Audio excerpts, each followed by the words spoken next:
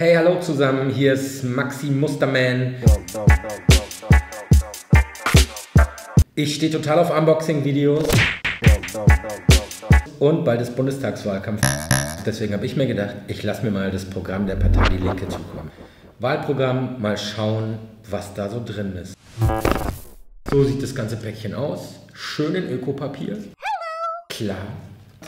Cut it like it's hot. Ich brauche gar keinen Cutter.